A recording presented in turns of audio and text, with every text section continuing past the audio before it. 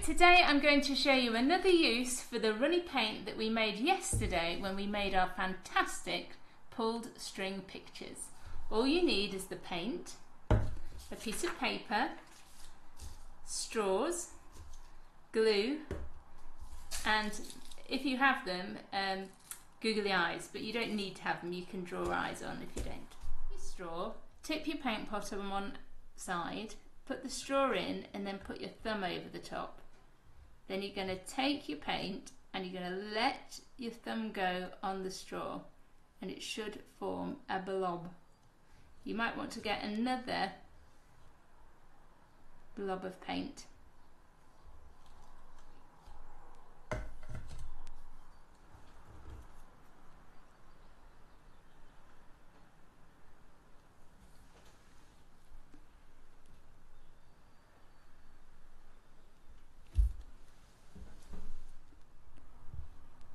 So here are the blobs that I've managed to create by blowing the runny paint.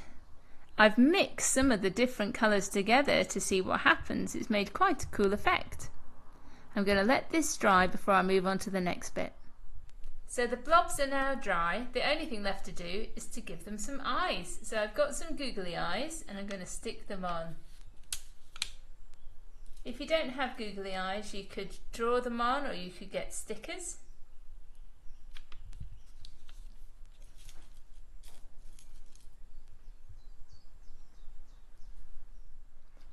And here are my finished blob monsters. They're kind of cool, aren't they? Kind of like amoebas, really. See you soon.